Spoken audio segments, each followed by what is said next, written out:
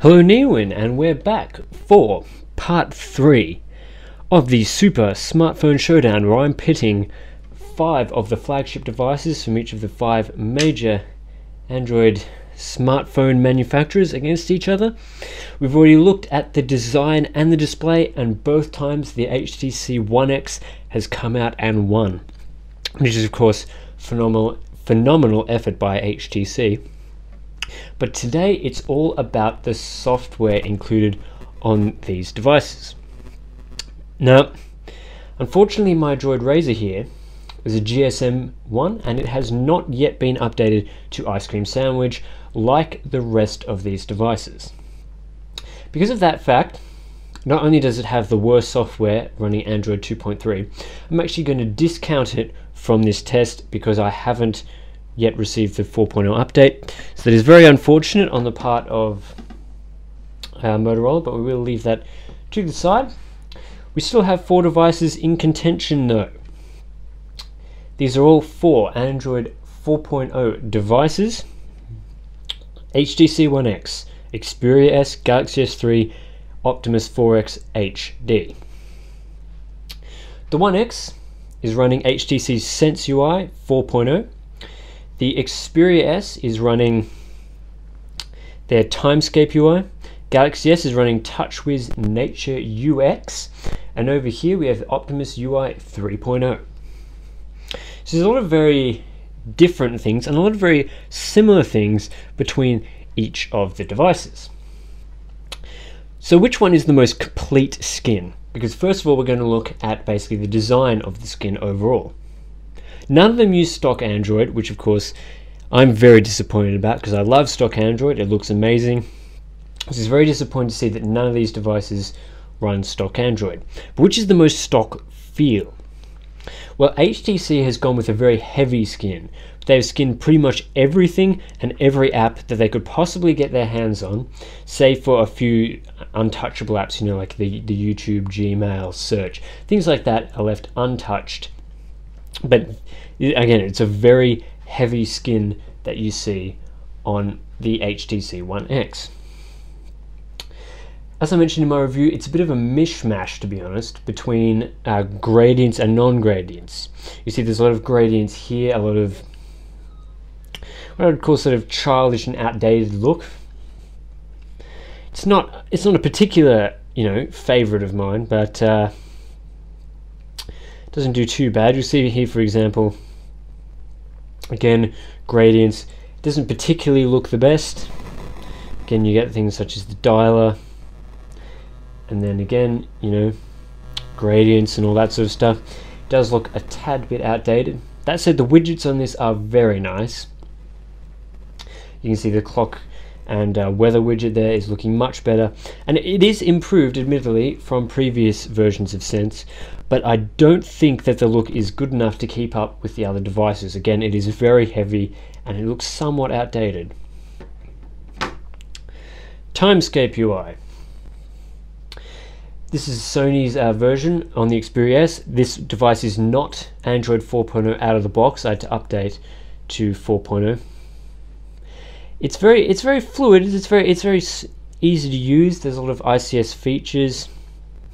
You see here the settings, for example, has been revamped to look Android 4.0 style. You see things like the contacts.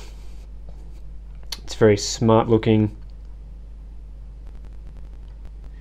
Turns out I don't have a contact for myself.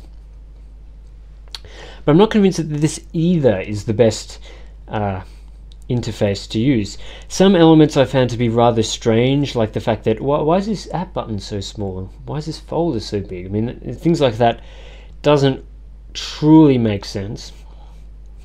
A lot of the skinning jobs that they've done uh, don't seem to improve anything. They're just there skinning for the sake of skinning, which again I, I have mentioned is not entirely the best. That said, the looks, for example, in that calendar, it does look very good. On the lock screen, for example, you've got a slide to unlock and it does look very clean and crisp and much more modern than you see on the One X. But that said is it the best? Well, we'll have to check out the software on the other devices.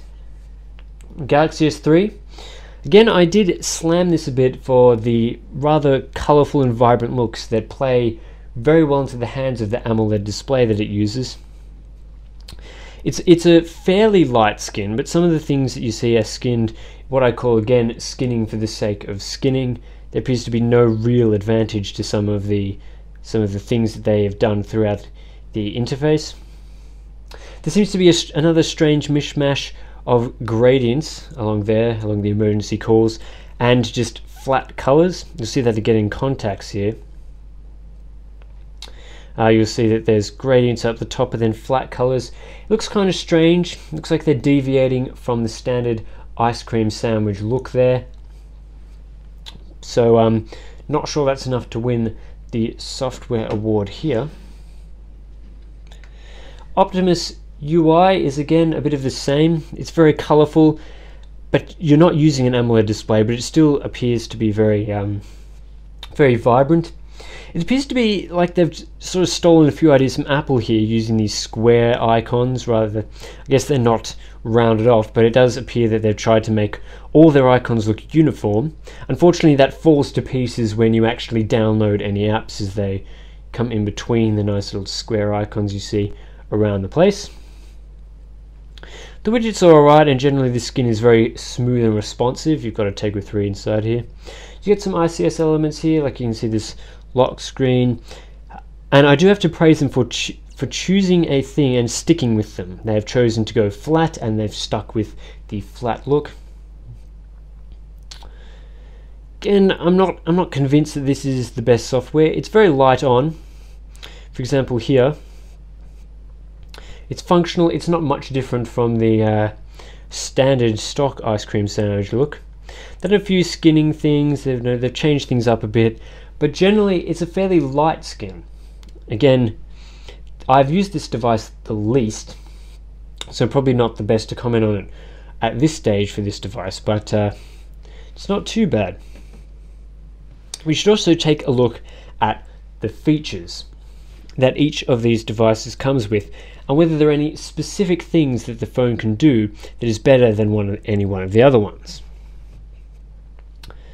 The HTC One X doesn't have any particularly outstanding applications or anything that could be worthwhile mentioning.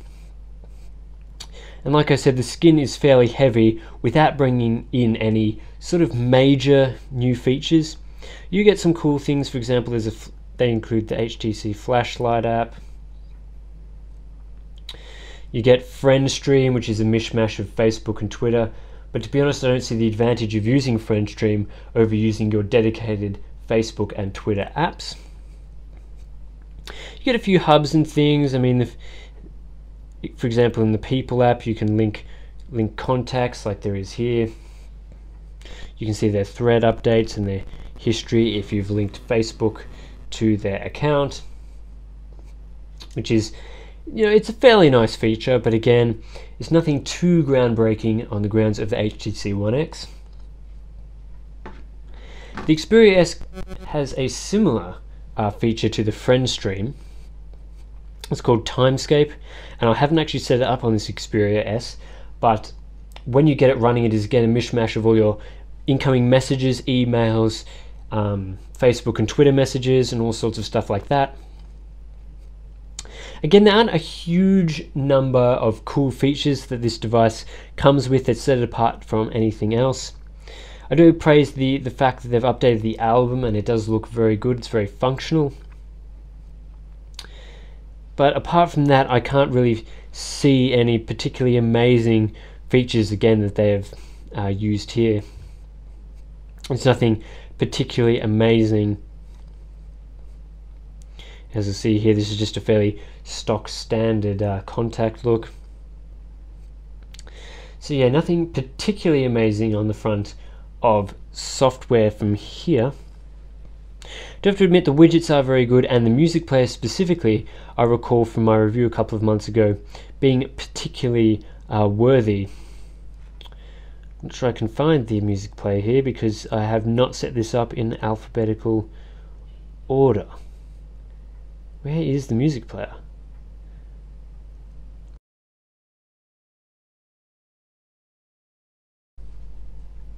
Jump cut. I found it. It's called Walkman. I don't know why they renamed it between ICS and the previous version, but it does it does look like this. Again, I don't have any music installed on the device, but the music player does look pretty good on uh, the Xperia S, so that is one worthy feature. The Galaxy S3 does have the best features out of all of these devices, though. They have included some very cool things in the settings that the device is capable of doing. For example, it can use the front facing camera to detect if you're watching the display and then it will disable the screen timeout if that is the case. You get a whole bunch of screen modes, you get uh, LED indicator settings, LED indicator being in the top up the top there. The widgets are quite nice and some of the while the again this is a fairly heavy uh, skin they have included some new features, such as the S Planner does include a fair few new things, even though I don't particularly like the look of it. S Memo is a very functional uh, memo app. The video play is surprisingly good, despite it not looking particularly amazing or anything like that. And of course, you get S Voice when you double tap on the home button.